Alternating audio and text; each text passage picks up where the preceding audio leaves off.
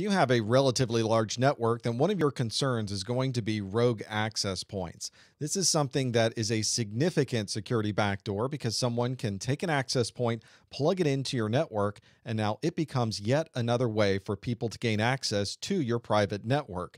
You can go out on lunch break, go to a Best Buy, go to anywhere you can purchase one of these relatively inexpensive access points, bring it back to your office, give it some power, plug in an Ethernet cable, and now you have a wireless network. And if someone has not protected that network, anybody within range of that wireless access point would have access to your private network. One of the things that is very commonly done, especially in large environments, is to survey your surroundings, walk around the building with some equipment that can listen for access points, especially access points that don't belong to you. So you can pick out where somebody might be broadcasting or where somebody might have put an additional access point without your knowledge.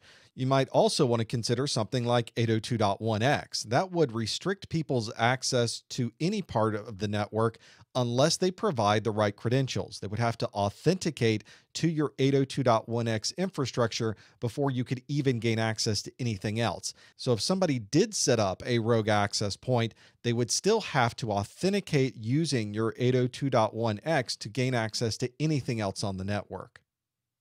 If you're in a relatively large organization, you travel a lot, you're in hotels, you're at conferences, another security concern you should be aware of is the wireless evil twin. The wireless evil twin starts easy enough. Someone will grab an access point off the shelf and they'll plug it in. The next step is they'll configure that access point to look exactly like all of the other access points around them. They'll give it the same SSID, they'll give it the same security settings, they'll try to make it look just like a twin of what's already there. But of course, this isn't the normal twin, this is the evil twin they also will boost the signal or put it in a location so that it is the closest access point. It's going to overpower all of the other signals that might be out there for the real and trusted access points. So they'll try to put it in different locations. They'll try to increase the power of the access point itself. Maybe they'll put it on the outskirts of the signal to try to get the people that are outside of the normal range. And that way they look just like every other access point that's out there. These days, there are so many Wi Fi hotspots, you can find them anywhere, so it becomes even easier for somebody to become an evil twin of a wireless network.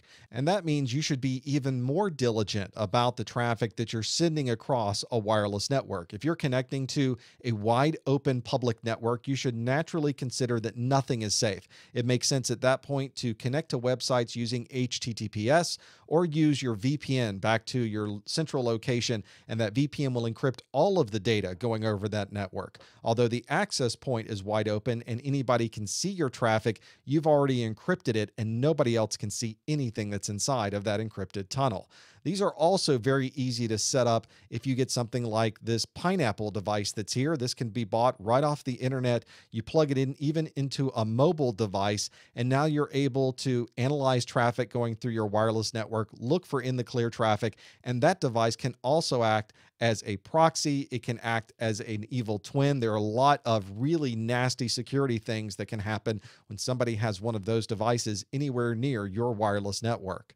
If you have a large network or you travel a lot and use a lot of wireless networks, keep in mind that you need to secure yourself to avoid any of these rogue access points or evil twins.